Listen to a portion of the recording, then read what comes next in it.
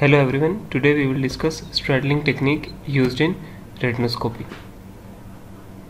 This technique is used to confirm the axis of cylinder after you have performed retinoscopy. For example, you have performed the retinoscopy and uh, your findings are plus 1 sphere with minus 3 cylinder at the axis of 125. Now you want to verify that whether 125 are correct axis or not so to verify it you will use the straddling technique. According to this technique first you will place the prescription in trial frame which in this case is plus 1 sphere with minus 3 cylinder at 125 and then you will rotate the streak of retinoscope to 45 degrees on both side of cylindrical axis which in our example is 125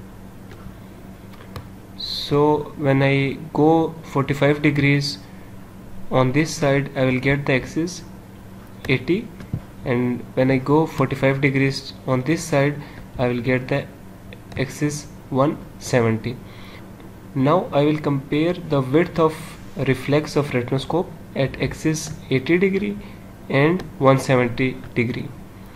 If the width is same it means that axes are correct which axis? 125 axis which we have found out by doing retinoscopy. But if width is different it means that 125 axis of the cylinder are not correct. In this case you have to move towards the streak which is narrow.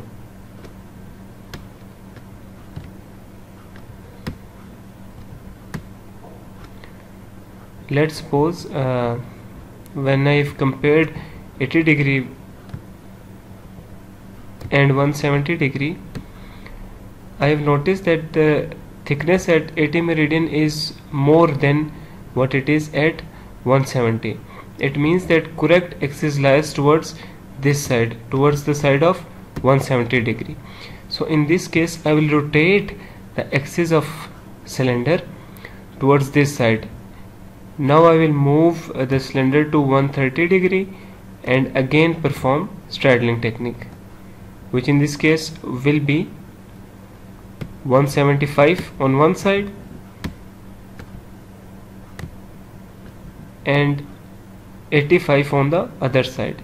And again I will compare the thickness of uh, retinoscopic reflex at, at 85 and 175 if both uh, the retinoscopic reflex have same width. It means that uh, 130 are the correct axis and if not uh, then I will again move towards the thinner reflex